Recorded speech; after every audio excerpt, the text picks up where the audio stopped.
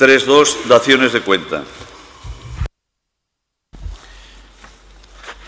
Se da cuenta al Pleno de la Corporación del decreto número 8091 de 27 de junio de 2013 relativo al ajuste de la fecha de celebración de la sesión ordinaria del Pleno de la Corporación correspondiente al mes de julio.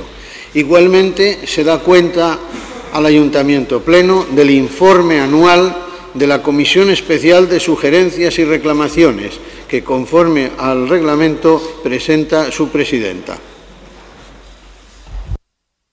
Muchas gracias. Tres, tres mociones.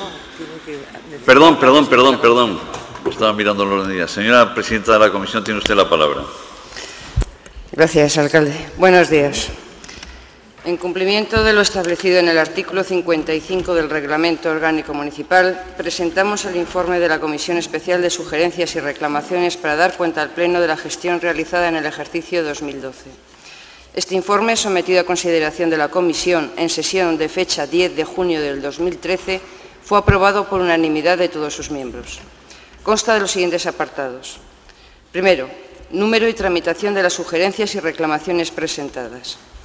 El presente informe abarca el análisis de los datos obtenidos desde el 1 de enero hasta el 31 de diciembre de 2012. En este tiempo, los ciudadanos de Valladolid presentaron al Ayuntamiento 14.180 peticiones a través de distintos medios. 4.341 por correo electrónico, 9.829 mediante llamadas efectuadas al teléfono 010 y 10 presentadas en el Registro General. Estas sugerencias y reclamaciones se canalizan a través del Centro de Atención al Ciudadano, quien las remite en función de su naturaleza al servicio correspondiente. Estos, a su vez, tras realizar las gestiones oportunas, elaboran una respuesta que se comunica al Centro de Atención al Ciudadano. Las respuestas se transmiten utilizando el mismo medio por el que se presentaron, es decir, mediante llamada telefónica desde el 010, correo electrónico o correo certificado. Segundo, sugerencias y reclamaciones presentadas. Las 14.180 peticiones formuladas han dado lugar a 15.387 solicitudes tramitadas a los servicios. Aclaro que una petición incluye varias solicitudes. El porcentaje de solicitudes recibidas ha disminuido un 18,01% respecto al año 2011, aunque el porcentaje de las contestadas a la ciudadanía se ha aumentado en un 0,56% y repartida los servicios de la siguiente forma. Coordinación de servicios técnicos, 3.502, lo que supone un porcentaje del 22,76%. Centro de movilidad urbana, 615, un 4%. Centro de señalización vial, 251, un 1,63%. Centro de atención al ciudadano, 1.682, un 10,93%. Servicio de Parques y Jardines, 1.986, un 12,91%. Servicio de Limpieza, 3.900, el 20,41%. Policía Municipal, 1.254, el 8,15%. Servicio de Salud y Consumo, 1.263, el 8,21%. Y el resto de los servicios, 1.693, el 11%. Tercero, tipología de las sugerencias y reclamaciones de los servicios municipales. Como en años anteriores, las prioridades de los ciudadanos se centran en su entorno inmediato, su calle, su barrio, sus parques, etc. Efectuando un análisis por áreas, comprobamos que las más afectadas son las que tienen dentro de su estructura a los servicios cuyas actuaciones se desarrollan sobre el entorno más cercano al ciudadano. Desarrollo sostenible y coordinación territorial, urbanismo, infraestructuras y vivienda, atención y participación ciudadana y seguridad y movilidad. Las demandas de los ciudadanos afectan a un 56,08% a los servicios de limpieza, jardines y conservación, con temas relativos a la limpieza viaria, retirada de contenedores, riego de jardines, arreglo de farolas, pavimentación y arreglo de aceras, etc.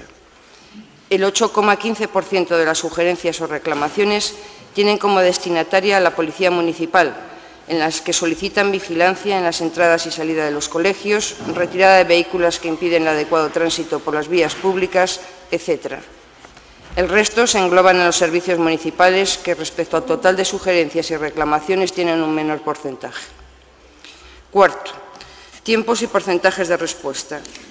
De las 15.387 solicitudes presentadas entre el 1 de enero y el 31 de diciembre de 2012, 14.846 han tenido la correspondiente actuación municipal y se ha felicitado comunicación de la misma a los ciudadanos.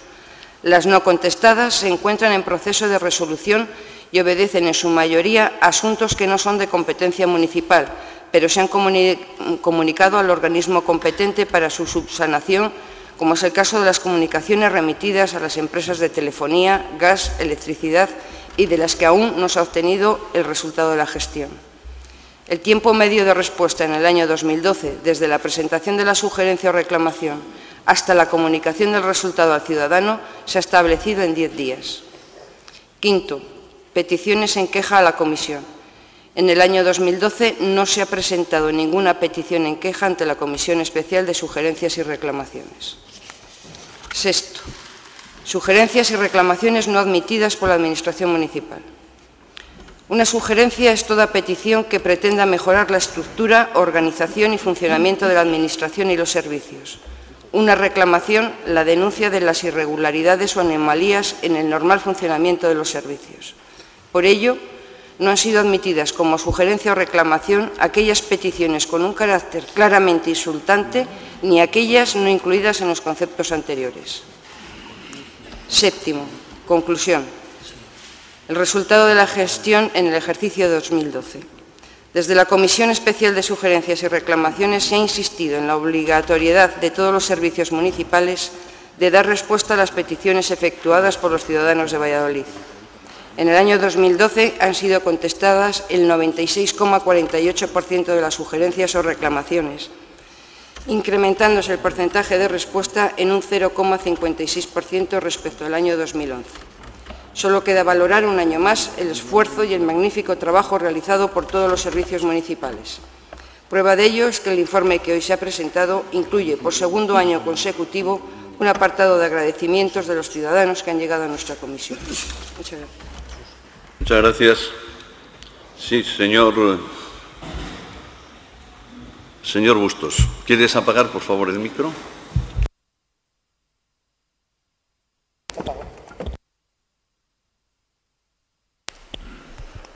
Sí, muchas gracias. Buenos días. En primer lugar, sí nos gustaría reconocer el trabajo del equipo técnico, de trabajadores y trabajadoras que han elaborado este informe y cada uno de los informes mensuales que se presentan en la Comisión Especial de Sugerencias y Reclamaciones. Pero sí queríamos llamar la atención sobre el significado del aprovechamiento que, en opinión de Izquierda Unida, debería tener esta comisión para el conjunto de políticas municipales y, sobre todo, para mejorar los servicios y atenciones que recibe la ciudadanía de Valladolid. Bajo nuestro punto de vista, la información que se recibe se clasifica y las aportaciones, propuestas, quejas o sugerencias que hacen los ciudadanos y ciudadanas no se aprovechan convenientemente. Bien, es bueno recordar que uno de los objetivos de esta comisión es defender los derechos de vecinos y vecinas en sus relaciones con la Administración municipal, supervisar la actuación de esta y proponer acciones de mejora. El reglamento recoge para ello la posibilidad de que la presidenta de la comisión pueda poner en marcha investigaciones sobre el funcionamiento de los servicios, inspecciones a las diferentes unidades administrativas y también requerir la comparecencia de cualquier persona de la Administración municipal que pudiera dar información relacionada con el asunto a investigar. Es decir, ponerse a trabajar para identificar las causas, las consecuencias o los propios procesos internos de trabajo municipal que generan problemas a la ciudadanía. Bien, pero de esta función que corresponde a la comisión nada se sabe. La comisión se limita a un mero trámite mensual de alrededor de cinco minutos en los que se da cuenta de un informe numérico de las quejas, sugerencias o reclamaciones recibidas. Nada de hablar de la función principal de esta comisión. No conocemos investigaciones sobre el funcionamiento de los servicios, ni inspecciones de unidades administrativas, ni requerimientos a ningún responsable. El equipo de gobierno convierte en un trámite las más de 15.000 solicitudes y las ordena en un archivo ante el cual no se actúa desde la comisión que corresponde hacerlo. De hecho, el reglamento apunta que la Comisión podría formular recomendaciones generales para la mejora de los servicios públicos y la atención al ciudadano, y no lo hace. Hoy mismo se presenta aquí un informe, pero no muestra un trabajo para promover la mejora, y de eso se trata, de no cubrir un trámite. Miren, como ejemplo recordaré que Izquierda Unida planteó hace diez meses, diez meses, que era necesario tener información detallada de las más de 3.000 reclamaciones que recibe el servicio de limpieza anualmente. Es una cifra muy significativa, más de 3.000. Y pensamos que la obligación del ayuntamiento es analizar el origen de las reclamaciones y conocer el detalle. ¿Para qué? Para hacer una evaluación rigurosa, para mejorar y para dar respuesta a la ciudadanía.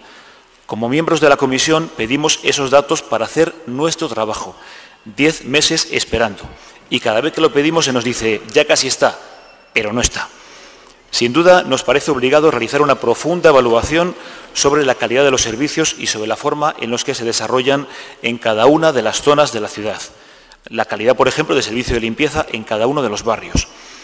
Izquierda Unida cree que el sentido de la comisión es posibilitar que las sugerencias, críticas o valoraciones de los ciudadanos y ciudadanas favorezcan el mejor desarrollo de las áreas en cada servicio municipal.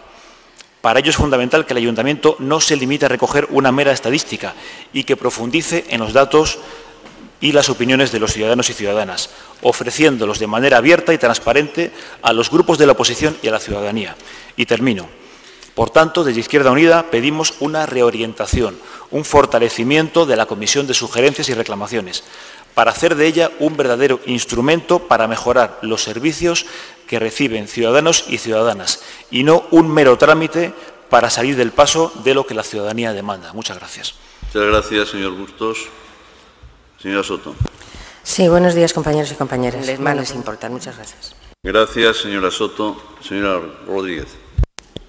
Yo no quiero, no quiero levantar ningún debate hoy en este pleno, pero ya que el señor Bustos ha traído al pleno el tema relacionado con la limpieza, le recuerdo que en la comisión se le ha explicado varias veces que esas respuestas se le habían facilitado en la comisión de Medio Ambiente y que estaban a la espera de que iban a llegar y, el trabajo se estaba realizando. Le repito que ese no es un tema de la comisión de, de sugerencias ni reclamaciones, simplemente que quedase también en acta. Muchas gracias.